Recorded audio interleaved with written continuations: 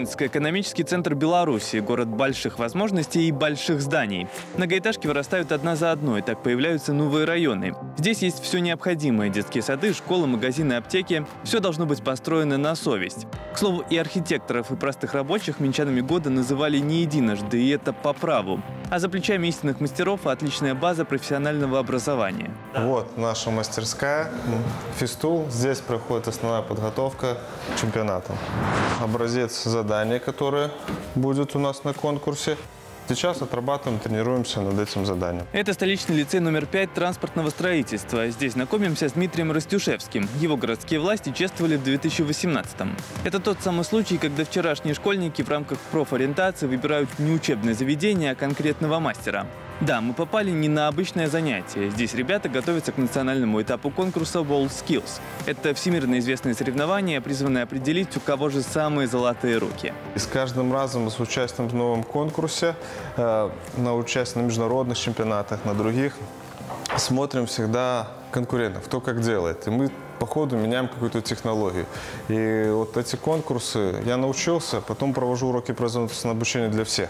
Я внедряю все эти основные элементы, которые в мире есть, детям. Может еще такой момент, что они в силу своего возраста не воспринимают всю эту информацию, которая им дается на данном этапе. Но после они поймут, что сколько в них вложили. Ну и что они с этого взяли? Такую науку Дмитрий постигал с самого детства. Сам был не только любознательный, но и трудолюбивый. Сначала пилил доски, дальше занимался резьбой. То, что будущая профессия будет связана с деревообработкой, ни на секунду не сомневался. Теперь сам делится профессиональными секретами с будущими специалистами. Говорит, его выпускники заметны всегда. На предприятиях самым современным оборудованием работают так, как будто за плечами огромный опыт. Уверен, именно благодаря таким мастерам престиж профессии будет расти. Посмотрите кругом. Без строителей что? Где мы бы жили, да? Все программистами не будут. Они хорошо зарабатывают. Но и программисту нужно в каком-то доме жить.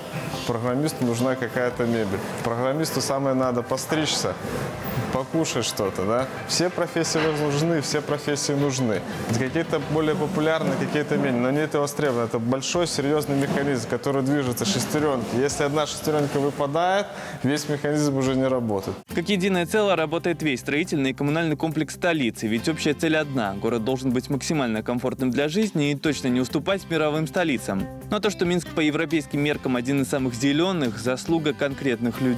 У меня как специалиста по озеленению, по ландшафтному дизайну всегда была идея создать в городе Минск э, лабиринт.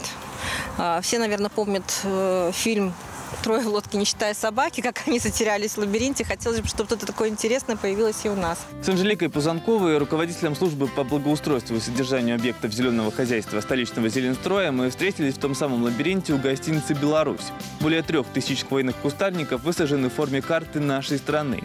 И пусть растения еще не слишком высокие, мы с нашей героиней здесь побродили. Заодно узнали о том, что еще нужно Минску для улучшения экологии. Для того, чтобы город наш был более зеленым, надо, чтобы каждый тоже принимал в этом участие. Ну, если говорить про опыт наших субботников, да, когда приходят в нем, принимают участие, в том числе и школьники, э, ни один из них потом просто так растение не возьмет и не сломает. Они потом их навещают, они с ними общаются. Мы в Ложецком парке провели не один субботник, просто из года в год, смотрю, были пионеры, стали уже более взрослые. И они смотрят, вот, это ж мы это посадили, смотрите, какой он уже здоров. Давай я с ним сфотографируюсь. Это я его садил. Ну, наверное, это еще какая-то, какой-то элемент воспитания, кроме экологии. Анжелика Пузанкова стала минчанкой года в 2012 году, но вот карьера началась еще задолго до этого. Изучала теорию в университете, позже получала первые практические навыки на станции защиты растений. Со временем формировался и комплексный взгляд, что именно нужно делать, чтобы столица постоянно наполнялась зелеными оазисами. Сегодня в подчинении коллектив, который воплощает стратегию в жизнь, и за это уж точно достоин высоких наград.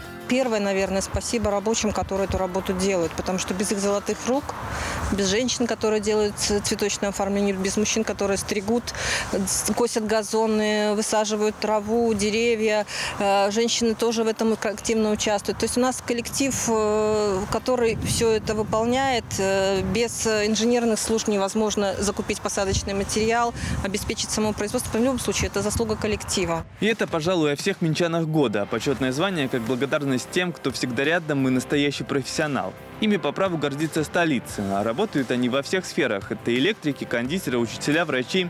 Развитие большого города – механизм, который без боев движется только в умелых руках трудовых коллективов. И здесь важен вклад каждого.